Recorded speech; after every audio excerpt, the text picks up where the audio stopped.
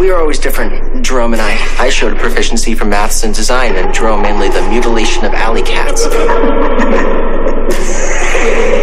are you gonna do to me? I'm gonna drive you mad. Breathe it in. Don't fight it. It's time to have some fun. Jerome is dead. Long live me. You're more sick than your brother. He just wanted to destroy things. I'm a builder. Every artist needs a blank canvas. We will create a legacy in this city. Gotham Falls. Nice.